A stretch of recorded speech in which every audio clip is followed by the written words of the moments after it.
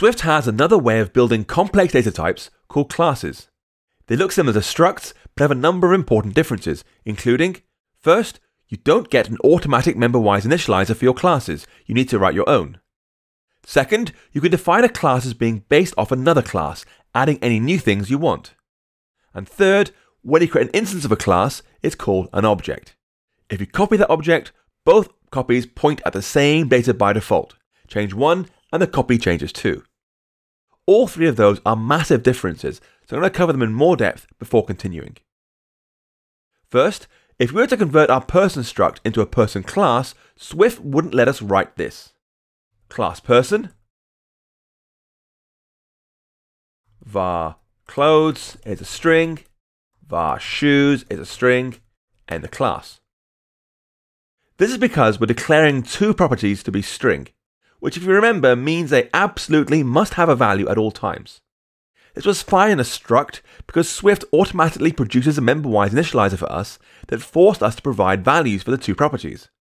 But this doesn't happen with classes, so Swift can't be sure they'll be given values. There are three solutions. First, make the two values optional strings. Second, give them default values. Or third, write our own initializer. The first option is clumsy because it introduces optionals all over our code where they don't need to be. The second option works, but it's a bit wasteful unless those default values will actually be used. That leaves a third option, and really it's the right one. Write our own initializer. To do this, we'll create a method inside called init that takes two parameters that we care about. We'll say init clothes string shoes string self.clothes equals clothes and self.shoes equals shoes. Now there are two things that might jump out at you in that code. First, you don't write func before your init method because it's special. And second, because the parameter names being passed in are the same as the names of the properties we want to assign, we use self dot to make the meaning clear. The clothes property of this object, self.clothes, should be set to the clothes parameter that was passed in. You can give them unique names if you want to, it's down to you. Importantly though, Swift requires that all non-optional properties have a value by the end of the initializer, or by the time the initializer calls any other method, whichever comes first. The second difference between classes and structs are that classes can build on each other to produce greater things, known as class inheritance. This is a technique used extensively in Cocoa Touch, even in the most basic programs, so it's something you should get to grips with. Let's start with something simple. A singer class that has some properties, which is their name and age. As for methods, there'll be a simple initializer to handle setting the properties, plus a sing method that outputs some words.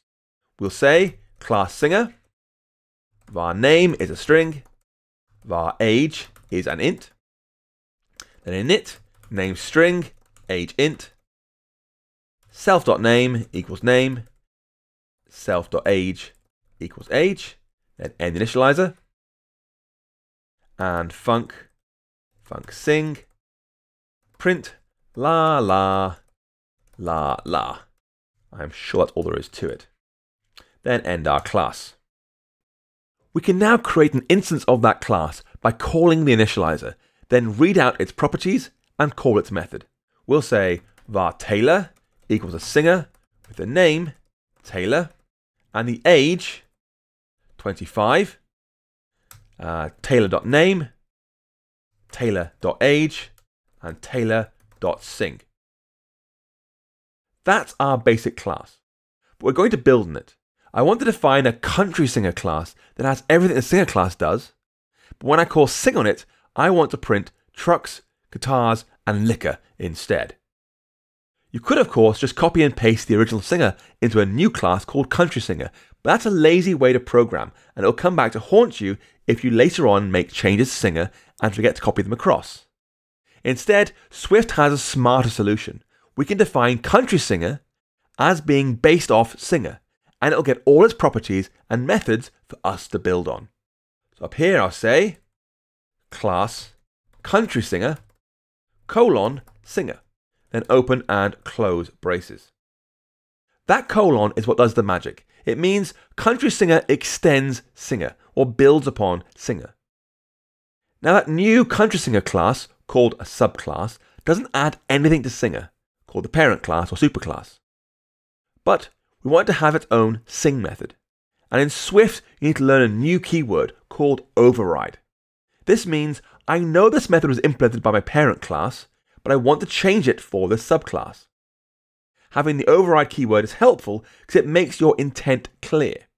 It also allows Swift to check your code. If you don't use override, Swift won't let you change a method you got from your superclass. Or if you use override and there wasn't anything to override, Swift will point out your error. So inside this class, I'm going to say override func sing print trucks, guitars, and liquor. Now we can modify the way the Taylor object is created. I'll say she's not a regular singer, but she is a country singer, or at least was. Now we can see different messages appearing. It's saying trucks, guitars, and liquor. Now to make things more complicated, we're going to define a new class called Heavy Metal Singer. But this time, we're going to store a new property called Noise Level, defining how loud this particular heavy metal singer likes to scream down their microphone. This causes a problem, and it's one that needs to be solved in a very particular way. Swift wants all non-optional properties to have a value. Our singer class doesn't have a noise level property. So we need to create a custom initializer for Heavy Metal Singer that accepts a noise level.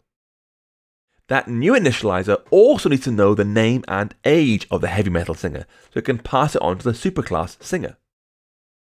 Passing on data to the superclass is done through a method call, and you can't make method calls and initializers until you've given all your properties values.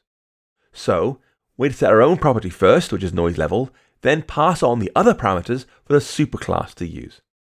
That might sound awfully complicated, but in code it's straightforward. Let's write out the heavy metal singer class complete with its own sing method. We'll say class heavy metal singer inherits from singer var noise level int then init with a name string an age int and a noise level int. Self.noise level equals noise level, set our own property first, then call up to the superclass initializer by saying super.init, name is name, age is age. And now inside we have an override func sing again. We're going to print uh, grr rarg rarg. There you go. Marvelous. Notice how its initializer takes three parameters, then calls super.init to pass name and age onto the singer superclass, but only after its own property has been set. You'll see super a lot when working with objects, and it just means call a method on the class I inherited from. It's usually used to mean let my parent class do everything it needs to do first, then I'll do my extra bits. Class inheritance is a big topic, so don't fret if it's not clear just yet.